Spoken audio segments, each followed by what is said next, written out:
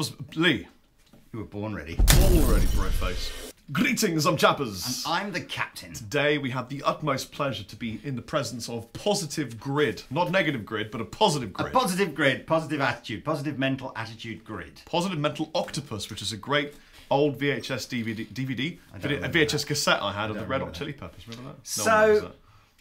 Anybody who is anybody uh, ha- and spends any time on YouTube has probably seen a demo at some point or the other of the amazing software that comes out of the USA from the chaps at Positive Grid called Bias Amp.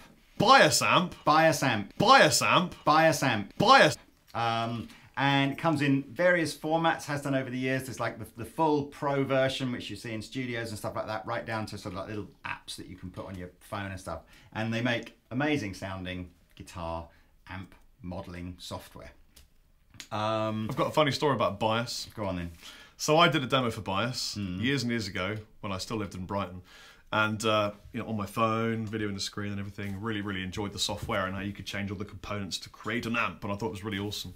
Went to Malta with my Hmm. wife, and um, went to a beautiful hotel looking for a place to get married. We're like checking out hotels, been a bit sneaky with my wife's parents as well, and um, we happened upon a couple that my parent, my wife's parents knew.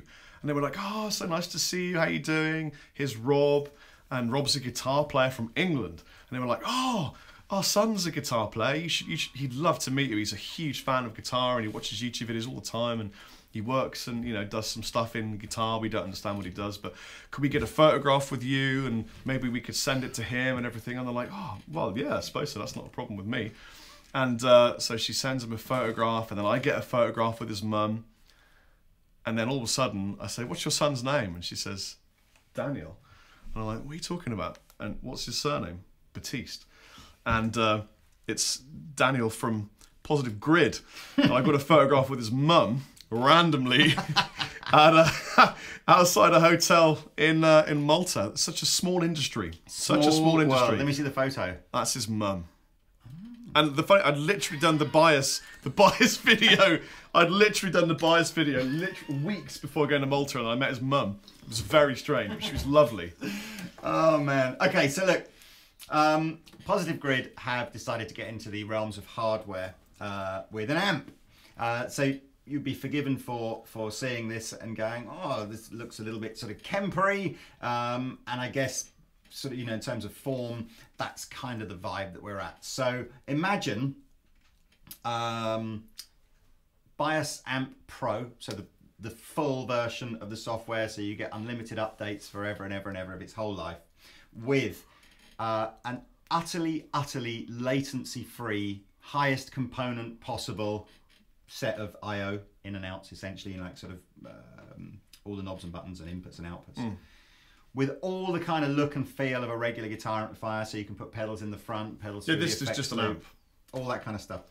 A 600 watt Class D power amplifier in the output section here, um, for about two thirds the price of what you can currently buy a powered Kemper for. So I was pretty excited when we found out about this. The full version of this ships in about a month's time, unless of course you're watching in this in the future, in which point It's already it's out. probably already out. or in the past, in which And case what we've got here happen. is a is a sort of a, a um a sort of I guess like a 95% working prototype. So we're not going to do uh, like a full in-depth demo of this at the moment because there'd be one or two uh, really cool features that frustratingly don't work on the prototype. Uh, but we are going to do the sort of super full demo in about four or six weeks time. So just make sure you subscribe to this wonderful channel, which there'll be a button here or here or somewhere to do it, or here, or maybe here, or maybe in all four of those places. Don't put it there. Um, but you know, so when the full version of this comes out, you're going to have um, the facilities to create your own amplifier, which is the kind of Yeah, you really that- build it component by component if you want. You can change Yeah. everything, think and that's what that really separates amp it from. the- design, don't we? Yeah, It- the again, we'll do that in the in the the full demo that we do. But if you can imagine breaking down a guitar amp. Uh, into every single component attribute of it, right down to its you know speaker and how you mic it. You can change every change tubes, change bias levels, all kinds of crazy stuff.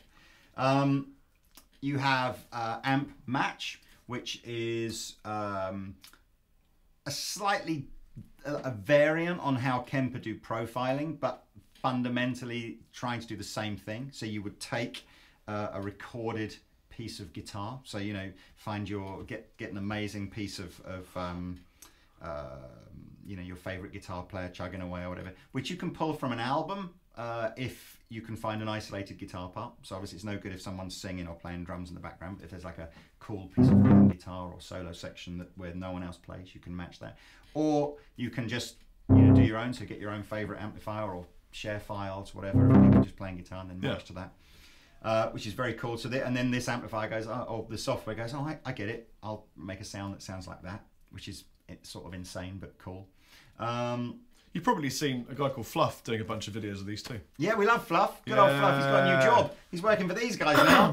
whoop, whoop. That's not a job. It's not really. A That's job, a is it? It's like it's like the sort of like it's like saying we have a job. We haven't really got a job, have we? Well, and uh, what else is kind of cool on this? There's a thing called the the tone cloud or the amp cloud. I forget what they call it, but again, that's obviously most of the big um, modeling companies and uh, modeling companies sounds like a modeling agency, isn't it? But most of the big digital companies will will have an opportunity for you to share, uh, upload, and share all of your favorite patches.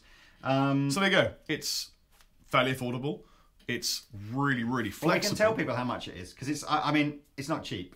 Uh, it's uh, going to retail in the UK for somewhere between a thousand and eleven hundred pounds. I mean, in relation to the competition, that's Yeah. affordable. It's about two thirds of the price of what it would cost you to buy, you know, something like a powered Kemper. Um, you, uh, as I said, I've been really, really impressed on this about the natural feel of it. So zero latency, uh, kind of just feels like you're playing a guitar. Yeah, and just raw. It's just a head. You plug it into a cab, and it sorts you out. Yeah, so on the back of the amplifier, so this would be your kind of gigging setup, really, or your gigging stroke recording setup. Uh, uh, the 600 watt power amplifier goes into your cabinet. You have cabinet simulators in here, so we've switched them off, and we're using a real cab. Um, well, I say a real cab, you know, like a you know a proper Marshall 4x12, or you can use a flat response cab Yeah. and switch all the cabinet emulation on. Yeah, you don't need to tour with an iPad, by the way. You No, you don't have to have the iPad with you. Uh, it saves um, via uh, MIDI or via Bluetooth rather, and then you recall via MIDI dozens and dozens of different patches. Uh, there are uh, DI'd outputs on the back, so in a gigging environment, you'd run your cabinet on stage for your monitoring, and you'd give the sound man your DI'd outputs, and the uh, you can switch as to whether or not you want the DI'd outputs to be cabinet emulated or not, so you don't have to have you know this cab and the front of house with the same setting. Um, loads and loads of cool features. But as I said, what I thought we'd do in this video is all four of the sort of YouTube presenters who are here today. So the wonderful Rob, the amazing Peter Honore, the fantabulous Rabea Massaad, and the extraordinarily average Captain. uh, we've all designed our own amp patches on here. We're going to upload these into the cloud as well. So if you're um, if you're a bias amp uh, owner, you'll be able to go and find these patches if you want. Yeah. Uh, I think all three of us, not Rabir, but me, Pete, and Rob, are going to use. We've got optional pedals, on the floor to use. We've got a Boss reverb in the effects loop. Um, hey, I don't think there's any more to say right now No. than bias amp. Bias amp. Bias amp. Let's rock. Let's rock.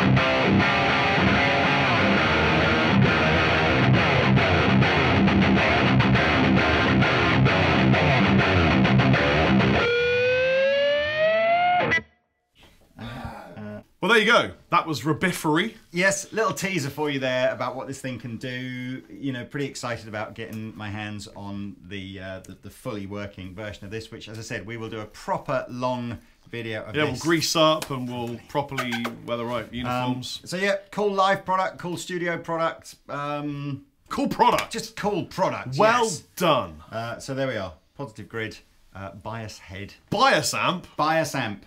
Bias amp. Uh, tune in soon for more information. See you there. Au revoir. The cameras are burning, they're burning. What are you talking about? Bye bye.